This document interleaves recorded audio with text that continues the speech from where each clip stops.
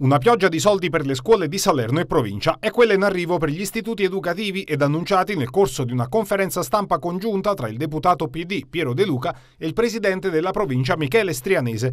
Presso la sede del coordinamento provinciale del partito sono stati illustrati i contenuti del provvedimento che interessano 50 istituti. Oggi presentiamo forse uno dei più grandi piani di interventi di riqualificazione edilizia scolastica mai eh, realizzati e programmati in provincia di Salerno.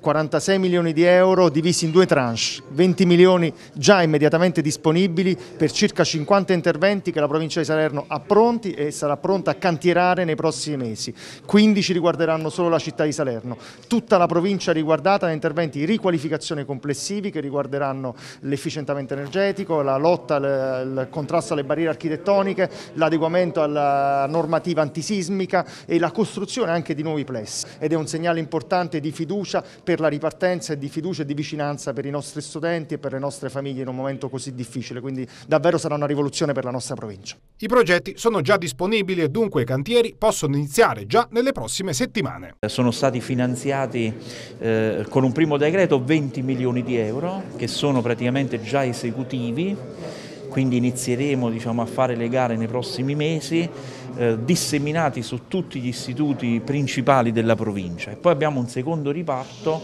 da 26 milioni di euro